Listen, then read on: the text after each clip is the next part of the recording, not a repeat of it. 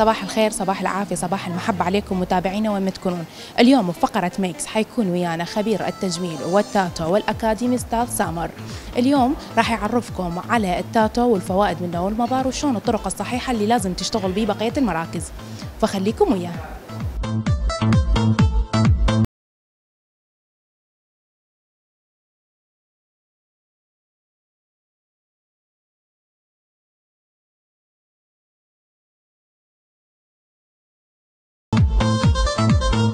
أستاذ سامر بما إنه أنت خبير وأكاديمي بالتاتو.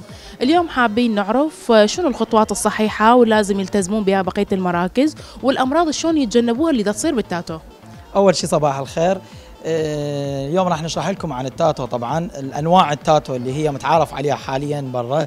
التاتو ال 2D الاعتيادي والتاتو ال 3D وطبعا أكو هواي تسميات طلقوها الصالونات أو مراكز التجميل مثل التاتو ال 4 دي وال 5 دي وال 6 دي والى آخره من التسميات.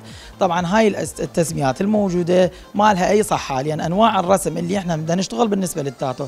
بدنا نشتغل بصيغة رسم. الرسم هو أما 2 دي اللي هو ملء الحاجب. طبعا هذا ملء الحاجب بالحبر اللي هو الرسم الاعتيادي. الاعتيادي المتعارف عليه. أما التقنية الأحدث اللي هي تعتبر أكثر واقعية أو أقرب إلى الحقيقة تبين شيء طبيعي ناتشورال طبيعي آه، فهي التاتو ال 3D ال 3 dimension أي ثلاثي الأبعاد. إحنا بنجي نرسم على أي ورقة أو أي ألوان ممكن نرسم ثلاثي الأبعاد مثل ال shadow يبين طبيعي. فأكو تسميات طلقوها هي ال 4D وال 5D وال 6D هذني ما لهن أي صحة لأنه ماكو أبعاد. بالرسم تتجاوز ال 3D هاي مرحلة. طبعا من المهمات إنه شنو الأضرار مال التاتو والنتائج اللي تسببها والإشكالات. أهم شغلة طبعا التعقيم الأدوات اللي نستخدمها مثلا إذا جهاز تاتو الجهاز يكون معقم العفو الابره تكون disposable آه الابر بالجهاز ال microblading آه ارتداء القفازات. طبعا هاي شغلات كلش ضرورية وكل اللي نستخدمه. بهاي المرحلة يكون disposable استخدام مرة واحدة. ما ممكن نستخدمه من زبونة إلى أخرى. ليش؟ لأنه ممكن إنه يطلع قليل من الدم. طبعا هي الأصح إنه ما يطلع نهائيا دم بس أكو بشرات ضرورية ما تتحمل لازم يطلع قليل بها دم. فهو معطول تحت الجلد وهو شغلة غير طبيه طبيه حقيقة هي حبر راح نحقنا تحت الجلد يعطينا الرسمة اللي نريدها. فبيج حالة يجب أن يكون الحبر جديد جهاز اللي نخلي به الحبر يكون جديد وطبعا شفوف جدد الأبرة أهم شيء تكون ديسبوزابل من زبونة إلى أخرى. آه، هاي بالنسبة للوقاية من الأمراض حتى واحد يسبب أي مرض بالعدوى من شخص إلى آخر.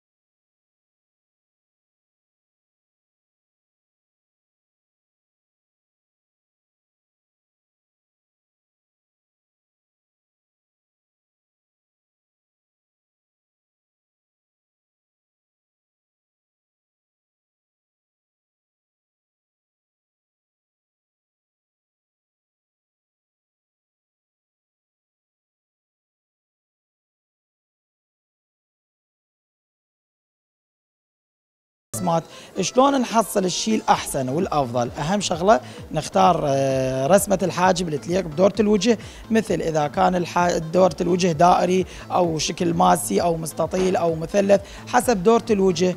إحنا راح نحدد رسمة الحاجب حتى ما يصبح عندنا أي اختلاف أو بمرور الوقت. من نخلي من حاجب إلى آخر من فوتنا فترة من الزمن. ما نختلف آه، بالرسمات أو ما تنشز أو ما تصبح فد فقرة أصبحت من الماضي. مثلا أنت عندك فد قياسات خاصة تستخدمها؟ أكيد. آه، طبعا هي أهم شغلة القياسات هو هذا اللي هسه أنا حكيته أنا بالنسبة لي شخصيا أستخدم الفيرنا. آه، جهاز الفيرنا للقياس الحاجب حتى أسوي بين حاجب وحاجب. آه، القياس شلون نقيس ويا عظمة الأنف بالبداية ويا بؤبؤ العين حتى نعرف الكسرة وين تكون بالمكان الصحيح. نهاية الحاجب شلون نحدده أيضا ويا الأنف ويا نهاية العين شلون نريد نقيسه